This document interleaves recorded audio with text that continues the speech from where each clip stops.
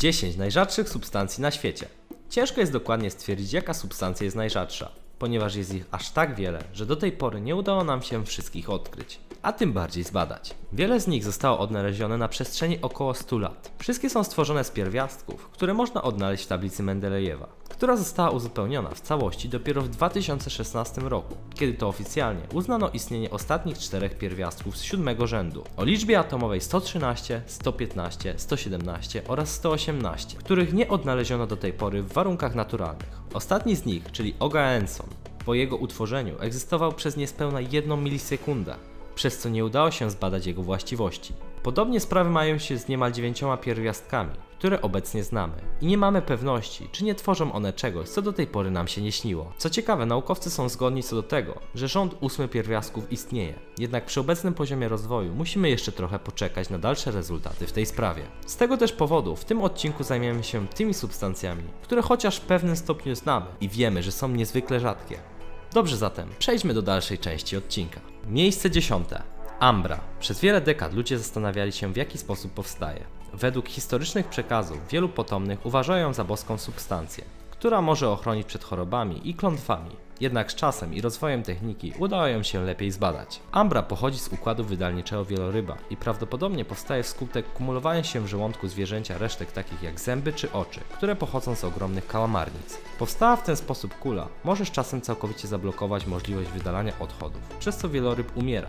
Jednak stworzona wcześniej kula trafia do wody, przez co po upływie czasu zostaje oszlifowana i nabiera niepowtarzalny zapach morskiej bryzy. Materiał jest składnikiem wielu prestiżowych marek, takich jak chociażby Chanel No. 5 które wykorzystują jej bardzo długą wytrzymałość wśród perfum. Ceny za kilogram wahają się w granicach około 30 tysięcy dolarów. Jeżeli jesteście szczęśliwcami, możecie znaleźć ambrę chociażby na plaży, czego przykładem jest australijska para, która w trakcie spaceru po plaży w Sydney natrafiła na surowiec, którego wartość sięgała blisko 300 tysięcy dolarów. Miejsce dziewiąte. Iryt.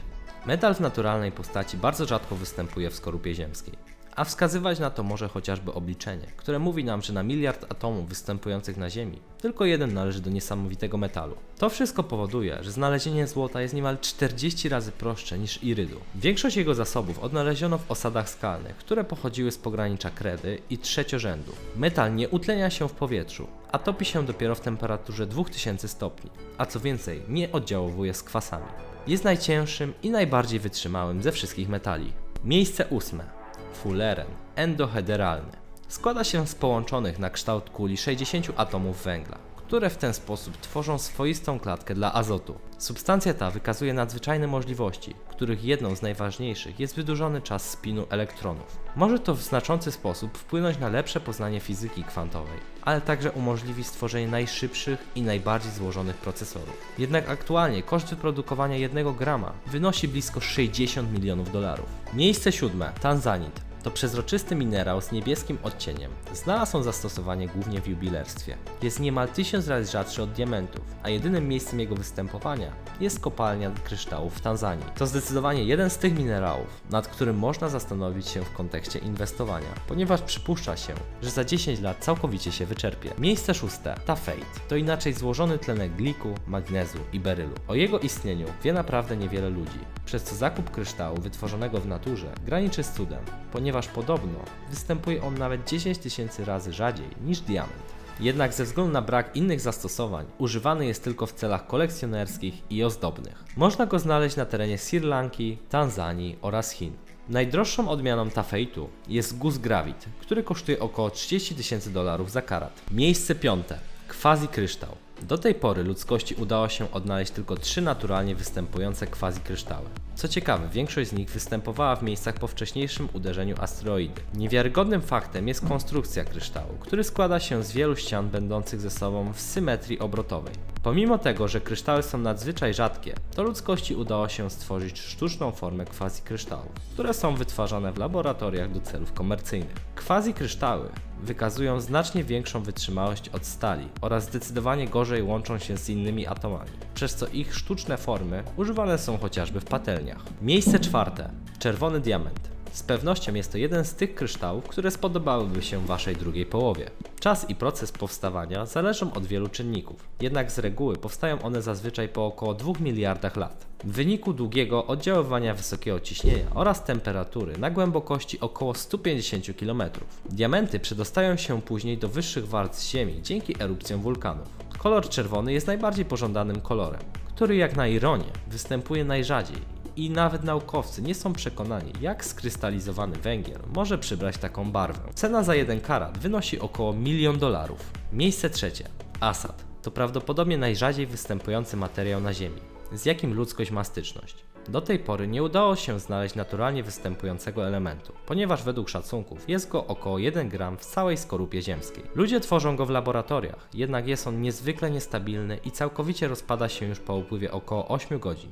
Jest on nadzwyczaj promieniotwórczy, jednak oprócz tej cechy w dalszym ciągu niewiele wiemy o tej substancji. Miejsce drugie.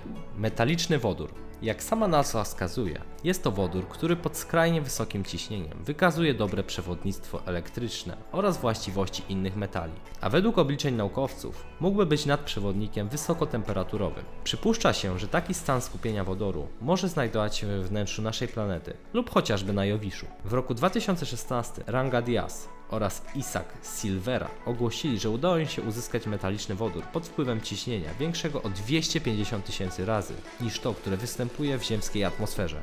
Jednak doniesienia naukowców nie zostały potwierdzone ani powtórzone, więc tak naprawdę nie mamy pewności, czy metal lżejszy od powietrza naprawdę może zostać utworzony. Miejsce pierwsze. Antymateria. Po dziś dzień jest dla nas największą tajemnicą. Jednak wiemy, że są to cząsteczki elementarne, podobne do występujących w zwykłej materii, ale o przeciwnym znaku ładunku elektrycznego. W przypadku kontaktu antymaterii z materią, obie ulegają anihilacji.